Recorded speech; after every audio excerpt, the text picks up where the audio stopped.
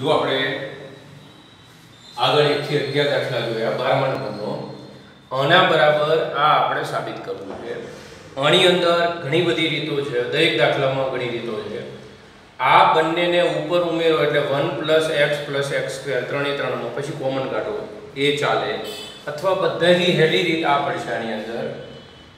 અને minus x વડે ગુણીને આમાં ઉમેરી દઈએ, પહેલા સ્તંભમાં ઉમેરીએ, પહેલામાં ત્રીજાને માઇનસ એક્સ વડે ગુણીએ. આ પ્રક્રિયા કરીએ. માઇનસ એક્સ વડે ગુણો એટલે એક્સ ક્યુબ થાય, આમાં ઉમેરો એટલે વન માઇનસ એક્સ ક્યુબ. આ માઇનસ એક્સ સ્ક્વેર થાય, અહીં જીરો જાય. અને માઇનસ એક્સ વડે ગુણો, આમાં ઉમેરો એટલે જીરો થઈ જાય. બાકી એમનું એમ લખી હવે નિશ્ચયક છોડી દઈએ. બે જીરો આવ્યા એટલે સ્તંભની મદદથી છોડીએ. જો આ પહેલું એમનું એમ તો એ આ બેને દાબી દઈએ, આ બેને.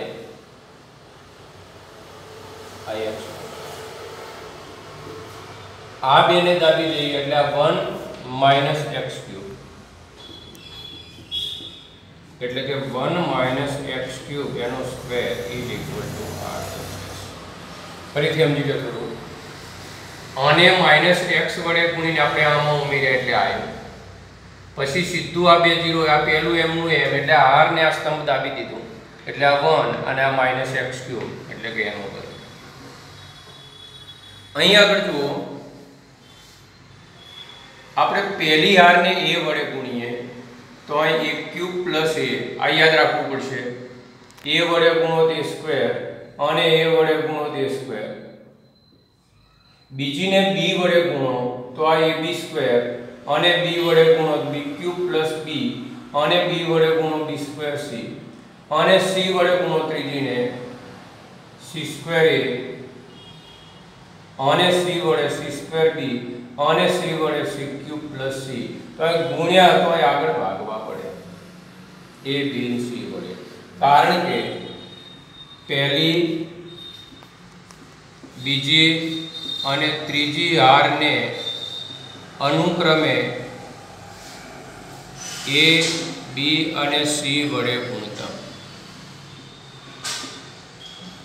હવે ધ્યાન રાખજો.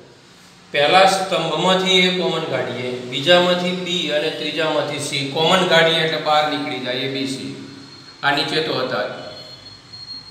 આમાંથી આપણે એ કોમન કાઢ્યા એટલે A square plus A. Square plus one A common કાઢ્યા એટલે બી સ્ક્વેર અને એ કોમન કાઢ્યા એટલે સી સ્ક્વેર આમાંથી બધામાંથી બી કોમન કાઢ્યા એટલે A square B square plus one અને સી સ્ક્વેર આમાંથી સી કોમન કાઢ્યા એટલે એ સ્ક્વેર બી સ્ક્વેર અને સી સ્ક્વેર પ્લસ વન જેમ કે આવું કેમ કરવું પડે? કારણ કે સાબિતીમાં વર્ગની જરૂર છે બધે. અહીં વર્ગની જરૂર છે, આમાં ક્યાંય વર્ગ નથી. આ બધામાં આપણે આ વર્ગ લાવી નાખ્યા. હવે આ તો નીકળી ગયું. હવે આપણે સાબિતીમાં આ જોવે છે. One plus A square, B square, C square. તો જો આ આગળ આ દેખાય છે. આ બંને હારને આપણે ઉપર ઉમેરી દઈએ. પહેલી હારમાં ઉમેરીએ, બીજી અને ત્રીજીને. તો આ બંનેને ઉપર ઉમેરું છું. One plus A square, B square, C square. એ જ રીતે અહીં આગળ બને થોડી પ્રેક્ટિસ કરો એટલે આવડી જાય.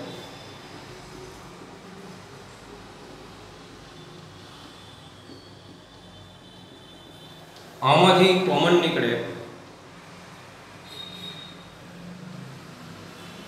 વન વન વન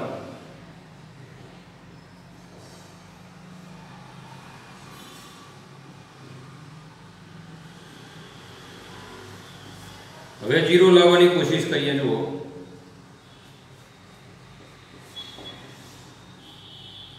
આને માઇનસ વન વડે ગુણીને આમાં ઉમેરો.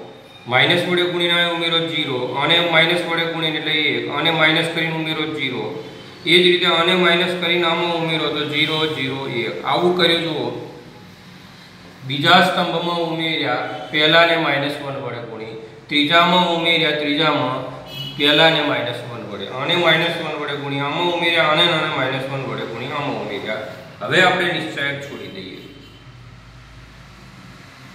જો આ વન લઈએ, આ વન તો વન માઇનસ ઝીરો એટલે એક થઈ એટલે one plus A square B square C square is equal to R ફરીથી સમજો, પહેલી આરને એ વડે અને બી વડે અને સી વડે ગુણ્યા એટલે બાર ભાગ્યા. હવે આમાંથી એ, આમાંથી બી ને આમાંથી સી કોમન કાઢ્યા એટલે આ કરી શકે. પછી આ આર ને આ આર એને ઉપર ઉમેર્યા પછી આ આરમાંથી આ સામાન્ય કાઢ્યા. પછી આને માઇનસ વન વડે ગુણ્યા આમાં, આને માઇનસ વન વડે ગુણ્યા આમાં જાય પછી આ નિશ્ચયક છોડ્યો, આ વન લઈ આવ્યા, એટલે આ વન માઇનસ જીરો આ લખવાનું બધું એમસીક્યુ જો થ્રી ક્રોસ થ્રી હોય, તો આ ત્રણેય આરમાંથી આ શ્રેણિકનો નિશ્ચયક બની જાય. એટલે ત્રણેય આરમાંથી કે કોમન નીકળે એટલે કે ક્યુબ એ આવશે. આ ટુ ક્રોસ ટુ હોય, તો અહીં કે સ્ક્વેર આવે. ફોર ક્રોસ ફોર હોય તો કે ની ચાર ઘાત આવે? સોળમો એમાં સી જવાબ આવશે. લાંબી રકમ વાળો છે ખાલી એમસીક્યુ આ બુકમાં જોઈ જવાનું તમારે. ઉદાહરણ એકથી પંદર તમારે ગણવાના છે હોમવર્કમાં આગળની રીતના છે બધા. ઉદાહરણ સોળ થોડું અલગ છે, એટલે ધ્યાન રાખો. આની અંદર જુઓ. અહીં આપણે એબીસી નીચે જોવે છે, આવું જોવે છે. તો આપણે આને એ વડે ભાગીએ અને બી વડે ભાગીએ અને આને સી વડે ભાગીએ. આને એ વડે ભાગો એટલે આવું થાય. આને બી વડે ભાગો. આને સી વડે ભાગો. તો અહીં ભાગ્યા એટલે બાર ગુણવા પડે. કારણમાં આવું લખવું પડે. R one, R two, R three આ ત્રણેયમાંથી અનુક્રમે એ, બી અને સી સામાન્ય લેતા અથવા ભાગતા.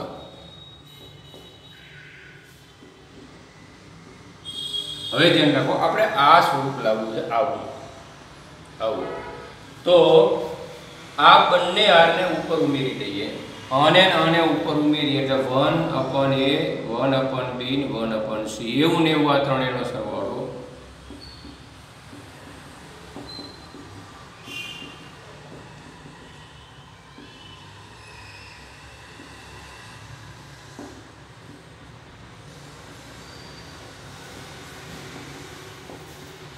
કારણ કે આર વનમાં ઉમેર્યા આર ટુ અને આર થ્રી હવે આ સામાન્ય નીકળે. One plus one upon A one upon B one upon C આ સામાન્ય કાઢ્યા હવે વન વન વન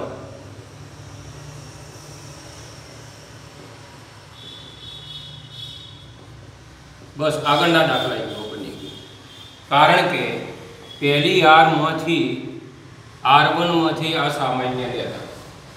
હવે જુઓ.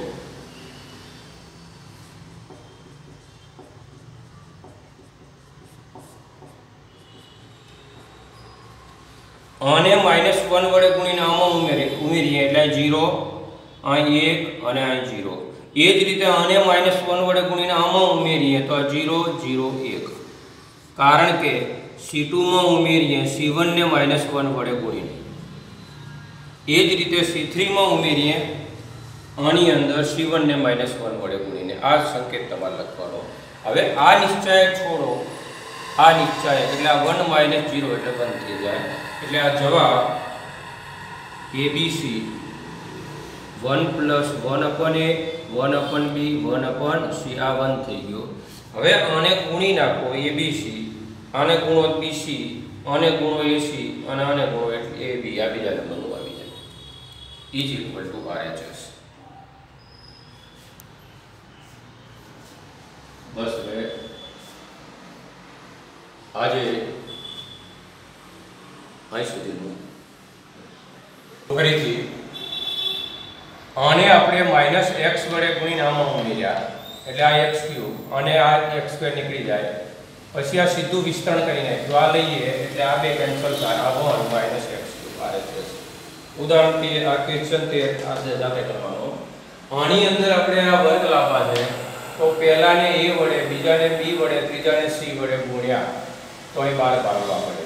હવે આમાંથી એ, આમાંથી બી ને આમાંથી સી કોમન કાઢ્યા પછી આ બંને હારને આપણે ઉપર ઉમેરીએ આની અંદરથી આ હાર કોમન કાઢી. પછી આને માઇનસ વન વડે ગુણીને આમાં ઉમેર્યા, આને માઇનસ વન વડે ગુણીને આમાં ઉમેર્યા. પછી વિસ્તરણ કરી દેશું એ જ પ્રમાણે અહીં આગળ અહીં છેદમાં આની જરૂર છે. તો આ પહેલાને એ વડે ભાગ્યા, બીજાને બી વડે, ત્રીજાને સી વડે. આ ભાગ્યા તો અહીં ભાગ ગુણ્યા પછી આ બંને હારને આપણે ઉપર ઉમેર્યા. આની અંદરથી આ સામાન્ય કરી પછી આગળનાની જેમ આનું વિસ્તરણ કર્યું.